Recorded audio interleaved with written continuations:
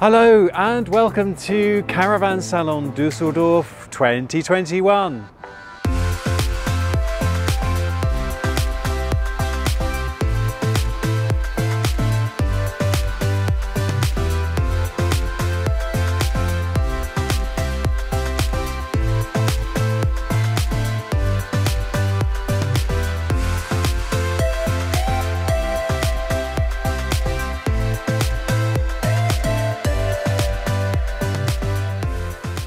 Yes, so we are back in Düsseldorf. We're back at Caravan Salon here, rushing around on the first day to bring you everything that's new and exciting.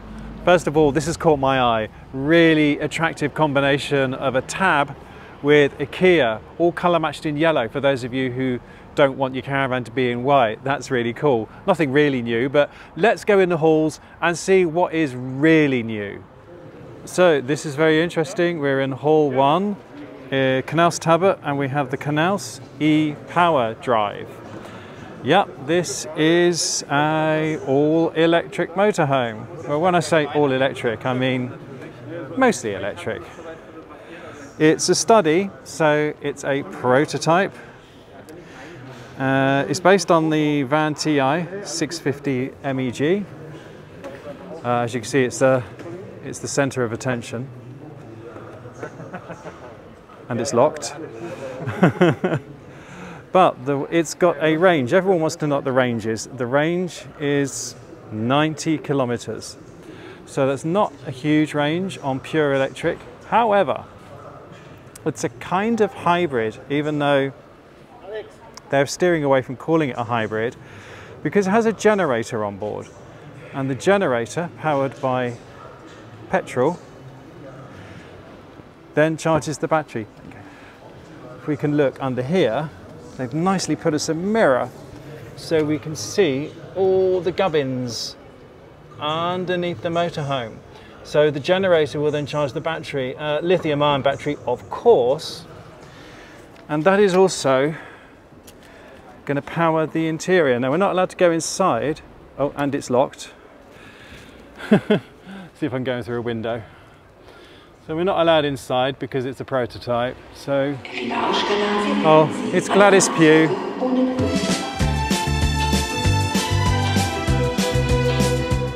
So anyway, here is your charging socket, he says. So you've got the uh, usual EV kind of charging socket there. Uh, but like I say, folks, this is a study. This is a prototype. Um, it's locked, I can't go inside, I can't even tell you how you power the heating or the cooking or anything like this. But it's very interesting. It's certainly a lot more integrated than the last electric motorhome we looked at, but it's still a prototype. And like I say, even though it's advertised as an electric motorhome, it's a kind of hybrid because of that petrol generator that is there to increase the range when you've run out of your 90 kilometers. So what's that, 60 miles? Not a huge range, but it's a step in the right direction. Big thumbs up for Knaus Tabbert. So here we are in Hall 5, the Hall of Dreams. And look at this, this is a new ultra luxury company, Dembell. Uh, these are brand new on the market absolute super, super duper luxury land yachts here. So the bad news is we're not going in one yet, probably not in this video. good news is I do have an appointment for later today. So I will probably be doing a video on Dembell just on its own. And uh, I think that's going to be something very, very, very special. So stay tuned to the channel, folks, and uh, we'll go in and have a look, see, see inside one of these. They look absolutely exquisite. You just got to look at the slide out and just the curves on the slide out and oh, I think if you have one of these, you'd have a driver, definitely. So this is something very exciting at the show. I just wonder how much it's going to be, I really do. So I'm looking forward to coming back later and filming this for you for the channel. Now this is exciting. What do you get if you cross? a Swift base camp with a Bailey Discovery, you get a hobby beachy. This is a really neat concept. There's a van as well, the van 540. We've got three caravans in three different lengths. You've got the 360, the 420 and the 450. And they're literally just back to basics. But first of all, look at this stand. Now, isn't this stand an example of how to make caravanning and motorhoming attractive to new people? They've got the sand here, they've got the boardwalk. It really is selling the dream. So Hobby have done an amazing job here. So as I say, it's a cross between a Swift base camp and a Bailey Discovery. You've got the, the curved rear of the Bailey Discovery and then you've got the back door of the Swift base camp. We should go in, this looks like the 360. So let's go in and see what the Beachy is like. So we've got a fly, fly nets here. And already I like those because they're not those nasty sort of cheap things that, that easily break. The first thing I notice is there's no cooker. We have uh, a, and the storage is these sort of elasticy things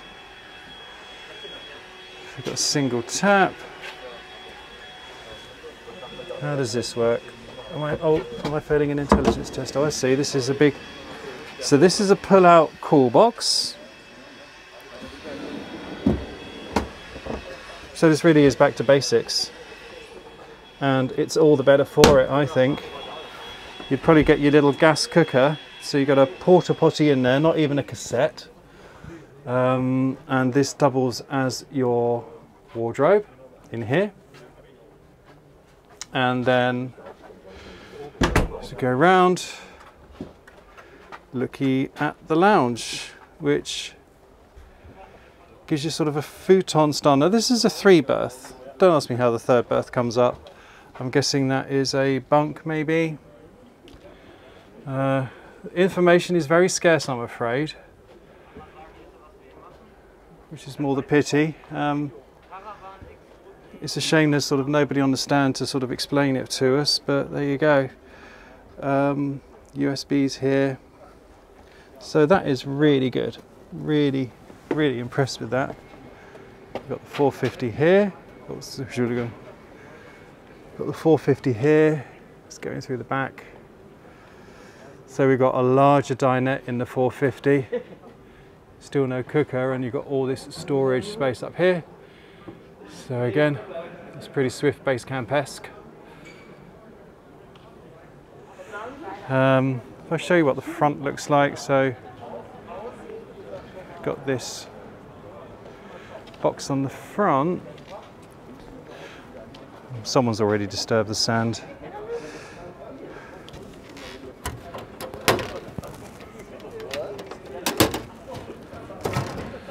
So this is just a storage chest because with no cooker inside, of course, there's no gas system.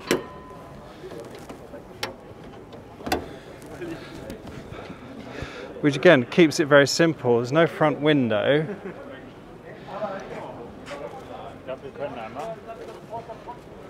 Actually, if we look over here to the 420, you see this nice sort of tent canopy. That's okay.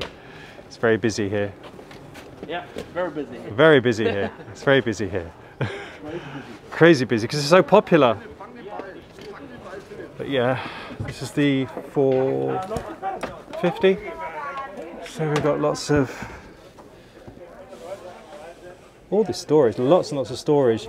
Basically, I think we all know the uh, the large Swedish furniture shop that we all go to to get our tea lights that uh, provides these little pull out drawers and things.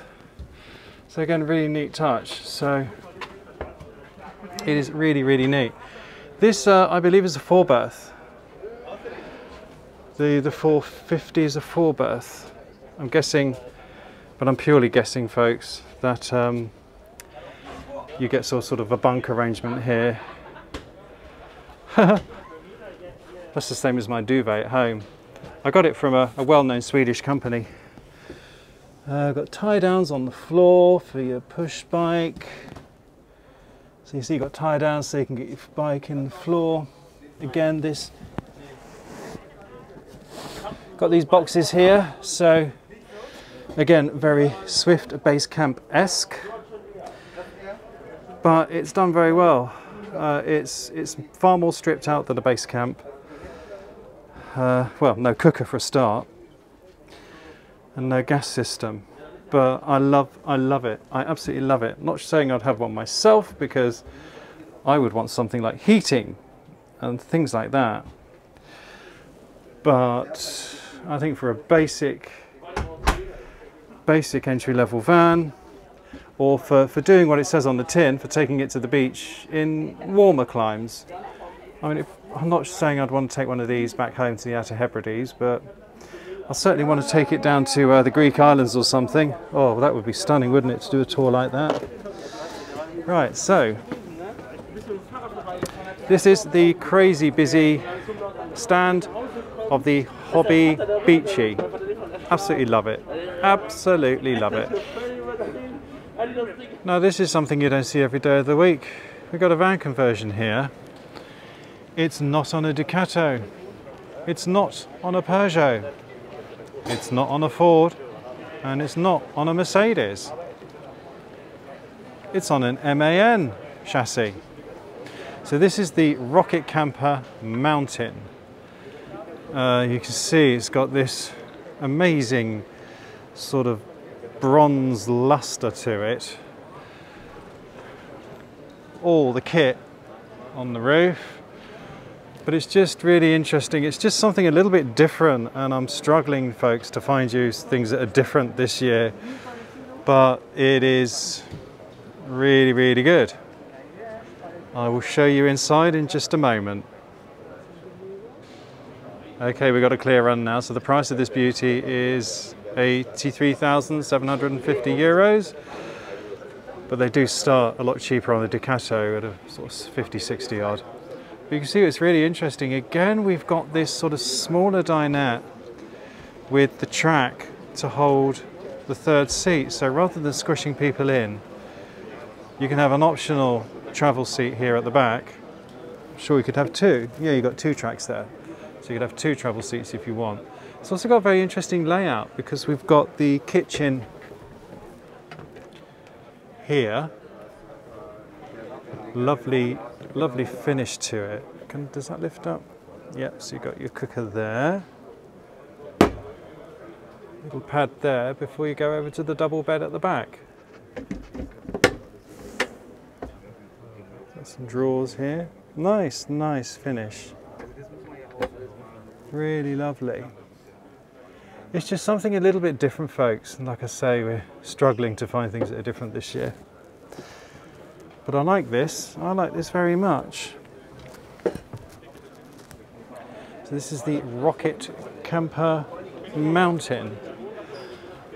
Let's go next door and look at the uh, think it's the Ducato version, the, the Rocket One.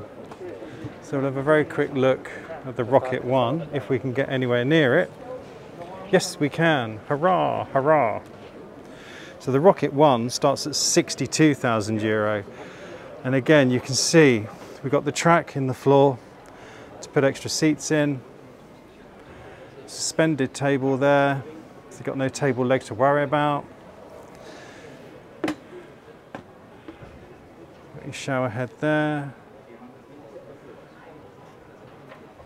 Yeah, there is a slight issue of no washroom. I would hope you have room to put a porta potty somewhere. So I'm guessing this is where you'd put your... Yep, there you go. There's the loo in there.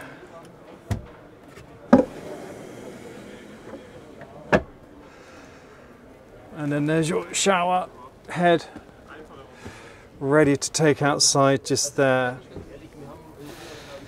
So again, this is a this is a fine weather van. I'm not sure I'd want to be taking this to the Isle of Lewis in October. But certainly want to be taking it to Crete in June. Oh yes, please. That would be super. So this is the Rocket One, 62,000 euro. Now this is something I've been wanting to clap my eyes on for a very long time. Finally, in the flesh, the Chausson X550. It's a six meter long motorhome that thinks it's a camper van.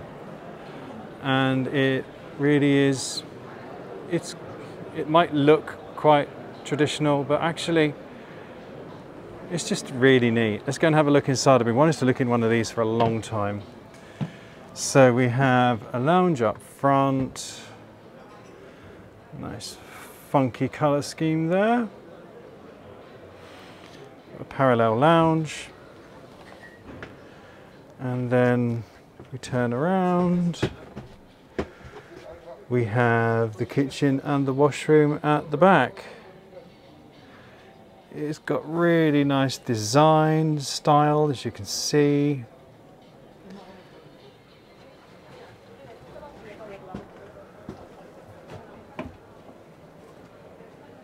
A cupboard that is.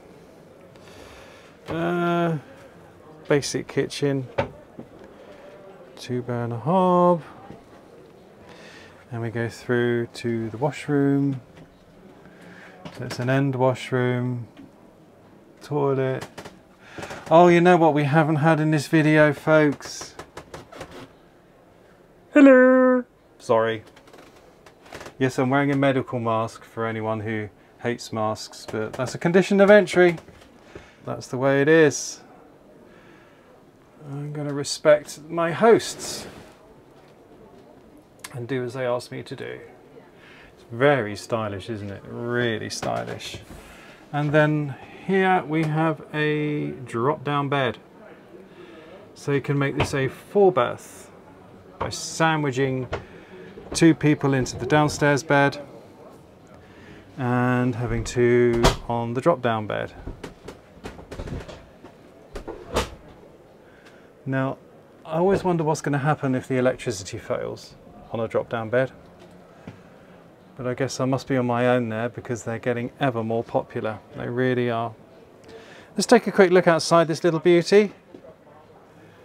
Oh, got the big Dometic fridge freezer here. Sorry, missed off the fridge freezer. With the, uh, I mean, these clips. I don't know what these are all about, but I think they're quite good at breaking these clips if I'm not mistaken. But anyway, let's have a quick look outside this little butte. Here we go, about 60,000 euro. So we're on the Ducato chassis. So we've been waiting a long time to see this in the flesh. And yeah, was it worth the wait? Well, I think for people who want a motorhome in a six meter package, four berth at that, I think this is pretty good. The Chausson X550. Here we are on the Fiat stand and I'm afraid I have nothing to show you but I have a little bit of news I found out from the very lovely people here on the stand at Fiat. You may notice that the Ducato we're looking at is just the bog standard Ducato we've seen a million times before. They do not have the e-Ducato, the electric Ducato, on show. Now apparently the e-Ducato is now on the market. It's available to manufacturers, but so far no mainstream manufacturer has actually decided to build a motorhome or do a full production van conversion on the e-Ducato. I'm told the problem is the range. The range of the e-Ducato with the larger battery is still 250 kilometers. Now, in the UK, we might think, well, that's okay. We only want to do sort of 100, 120 miles a day. But of course, in larger countries like Germany and France, such a range is not appealing to motor caravanners. And also, there is also the issue of charging en route, and some chargers are hidden behind height barriers. So there is a lot of work to do, folks. There's a lot of work to do before we get to see mainstream manufacturers adopting electric vehicles. So that's the news from Fiat. Let's go and see what else we can find out.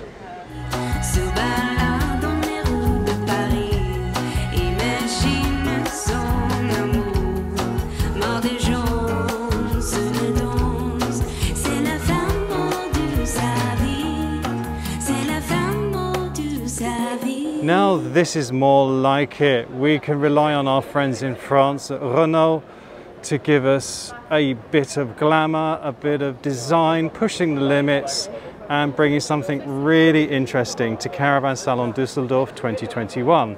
This is a concept, this is the Hotel Hippie Caviar. And first of all, let's have a look. We've got the old Estafette here, 1977, that's been renovated. And then we have the concept vehicle here. There's still some guys working on filming, so we're trying to stay out of their way right now. So first of all, let's have a very quick look at this uh, this Estafette, because oh my word, they've renovated this something beautiful. Look at this. Pretty typical, eh, folks? I'm coming to uh, see what's new and exciting, and the first thing I well, second thing I get really excited about after the uh, the Hobby Beach is a 1977 Renault. Isn't it lovely? Oh, so lovely. But that's been brought in to juxtapose with this, which is the electric Renault Trafic. Now, to get over the whole range thing, what Renault have done is introduce this Hotel Hippie Caviar concept. Basically, it is a concept.